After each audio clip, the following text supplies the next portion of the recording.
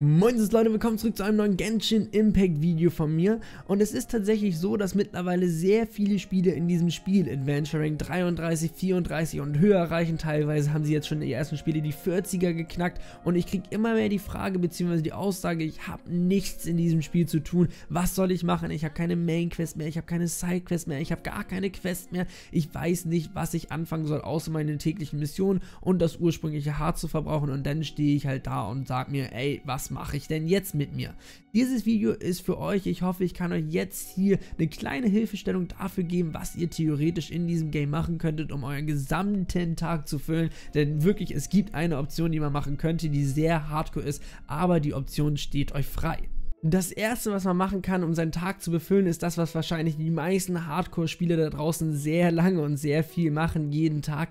Und das ist das Sammeln von Truhen. Das heißt, ihr könntet theoretisch hingehen und euch auf der Minimap, hier beziehungsweise auf der großen Map, Truhen markieren, die ihr findet, beziehungsweise ihr könntet auch theoretisch für einen Bereich hingehen, die interaktive Map am PC im Browser öffnen, gucken, wo sind Truhen und euch hier alle Truhen in einer bestimmten Umgebung markieren. Und dann geht ihr einmal am Tag hin, sucht euch eine Farming-Route und klappert all diese markierten Truhen ab. Das könnt ihr dann entweder zum Beispiel hier oben machen, das glaube ich sehr viele könnt ihr es machen. Ihr könnt das aber auch überall machen, wo ihr lustig seid, wo ihr viele Truhen auf der interaktiven Map seht und versucht einfach diese Truhen abzuklappern. Denn es ist so, dass die Truhen respawnen. Das passiert nicht auf täglicher Basis, das heißt, wenn ich jetzt hier morgen hinlaufe, habe ich nicht wieder unbedingt eine Truhe da.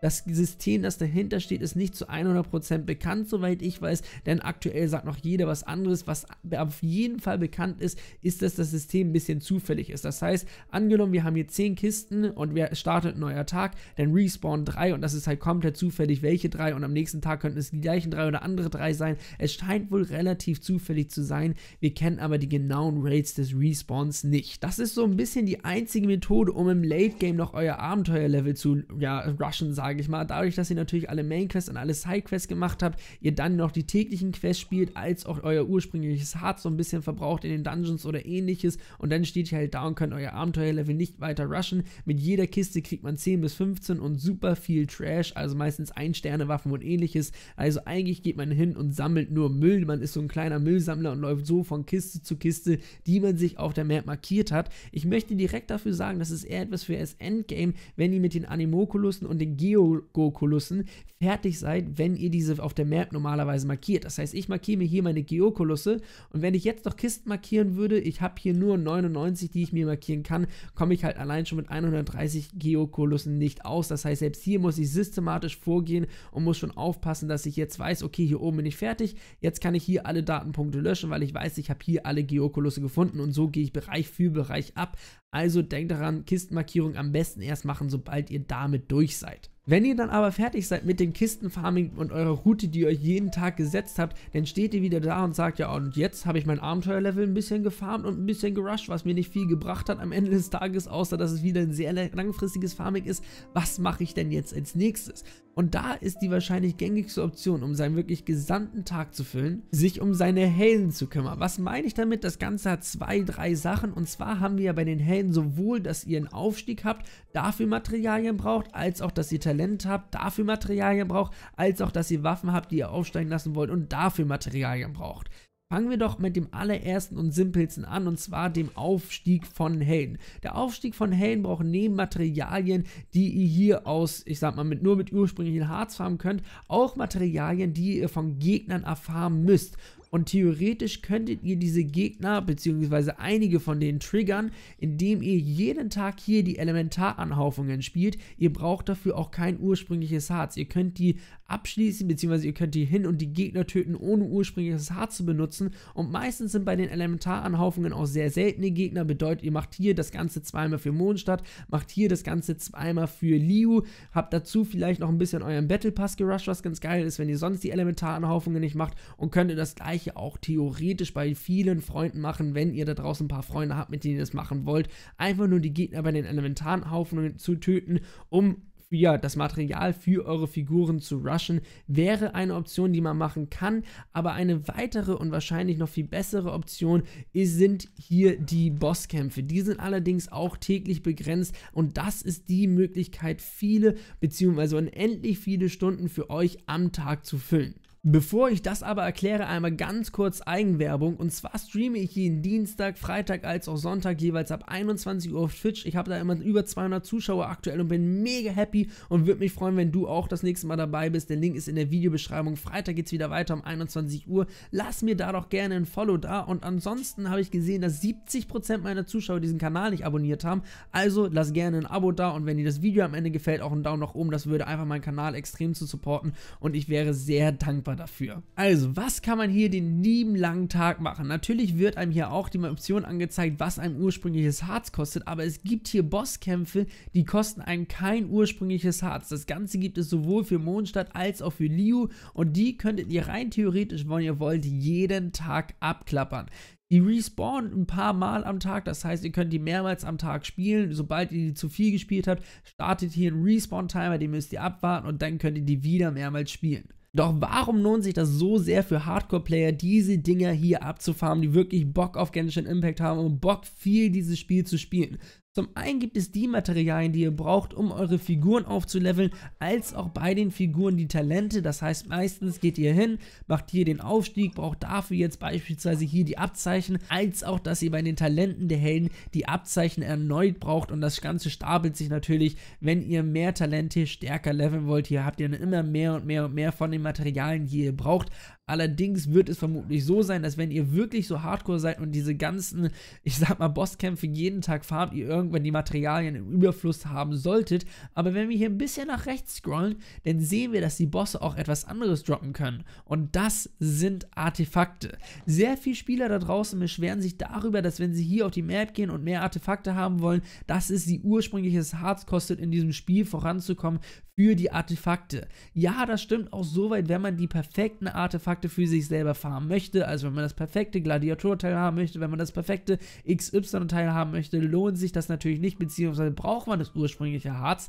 Aber wenn man das perfekte oder zumindest das halbwegs perfekte Teil erstmal gefunden hat, um all seine Helden nach und nach auszurüsten, möchte man ja diese ganzen Teile auch aufwerten auf plus 20 ETC und dafür kann man halt diese Bosse farmen, kann hier hoffen, dass die Artefakte droppen, da direkter Hinweis, die Drop Rate ist sehr, sehr, sehr gering, dafür ist es halt kostenlos und kostet ein kein ursprüngliches Harz, aber ihr habt dann, wenn ihr das macht, Artefakte, um eure Artefakte zu verbessern und so eure Helden zu stärken und so hoffentlich gutes Gear für Spiral Abyss oder ähnliches zu haben. Also das ist wirklich etwas für die Hardcore-Player, die viele Stunden in diesem Spiel verbringen wollen und nicht wissen, wie sie das tun können spielt einfach diese Bosse und ich habe ja gerade gesagt, irgendwann kommt ein Respawn-Timer. Also was macht ihr, wenn ihr hier in Lio und Mondstadt alle Bosse gefarmt habt? Ganz einfach, ihr sucht euch Freunde und macht mit Freunden weiter. Bedeutet, ihr geht jetzt zu eurem Freund auf die Map, fragt, hey, darf ich eure Bosse farmen oder möchten wir vielleicht zusammen die Bosse farmen? Dann geht das Ganze auch noch ein bisschen schneller, weil die Bosse schneller down sind. Bedeutet, ihr geht mit euren Freunden hin, versucht das hier auch nochmal mit euren Freunden zu machen und wenn ihr keine Freunde dafür habt, findet ihr in der Videobeschreibung einen Discord-Link. Dort gibt es extra einen Koop-Bereich, wo ihr Leute suchen könnt, die mit euch das Ganze zusammen machen. Und dann geht ihr halt über den Koop-Bereich bei Leuten rein und spielt dann mit denen diese Artefakte, beziehungsweise fragt einfach, ey, darf ich gerade bei irgendjemand auf die Map diese Kopfgeldjagd machen? Viele farmen das nicht täglich, dementsprechend sind wahrscheinlich viele bereit dazu zu sagen, ja klar, farm hier die Kopfgeldjagd, wenn du möchtest, oder ich farm sie halt mit dir. Das sind die Optionen, die ihr hättet, um einfach gratis Artefakte nebenher zu farmen. Nachdem ihr also die Methode kennengelernt habt, mit der ihr wahrscheinlich am besten den gesamten Tag füllen könnt, wie gesagt, ihr könnt unendlich viele Freunde besuchen, wenn ihr so hardcore seid und ihr ja, könnt darüber quasi 24 Stunden farmen, solange ihr Leute in dem Discord-Server findet oder Freunde habt, die das Ganze mitmachen.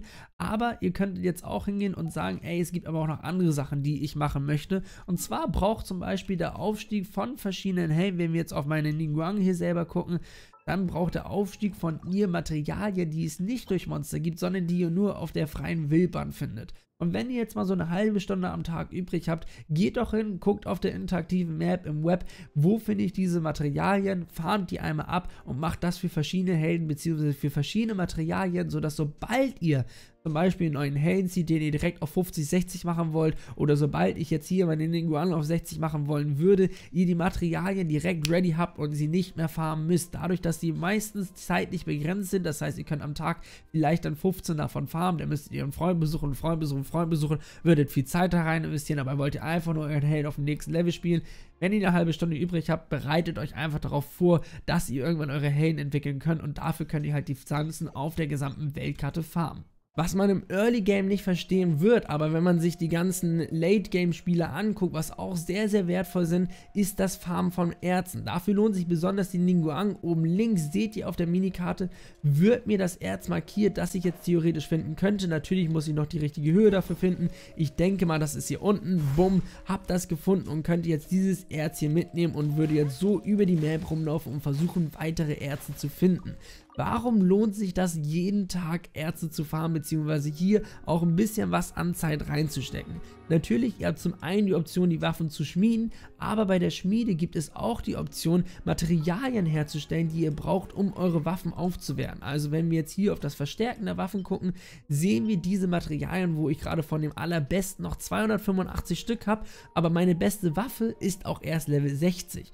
Irgendwann geht die Level 70 oder gar Level 80 und dann wird das hier schon viel, viel, viel, viel teurer. Ich glaube, für das Aufranken von 40 auf 60 braucht ihr auch schon irgendwie zwischen 40 und 60 davon und das wird natürlich mit dem nächsten Level noch hardcorer und noch anstrengender. Dementsprechend, wenn ihr Erze übrig habt, geht zur Schmiede, wertet das Ganze jetzt schon um und wenn ihr dann irgendwann im Late Game angekommen seid und im Moment, wo ihr eure Waffen verstärken wollt, dann habt ihr die Erze einfach schon ready und das ist genau das gleiche wie in den Pflanzen. Ihr müsst jetzt nicht hingehen und erstmal farmen, farmen, farmen und bei der Schmiede darauf warten, dass sie die, ja täglich ja auch nur eine begrenzte Anzahl an Erzen verwerten können und dann wieder auf den nächsten Tag und nächsten Tag und nächsten Tag und nächsten Tag und dann dauert das irgendwann so lange, eure Waffe aufzuwerten. Stattdessen, wenn ihr jetzt schon hingeht, täglich ein paar Erze mitnehmt, dann seid ihr halt irgendwann, sobald der Moment kommt, dass ihr zu wenig habt, good to go, weil ihr dann vielleicht doch schon wieder ein paar mehr gefarmt habt, einfach im Vorhinein und das nächste Material schon in der Schmiede fertig ist. Also definitiv etwas, wo man auch so ein bisschen was seinem Tag füllen kann.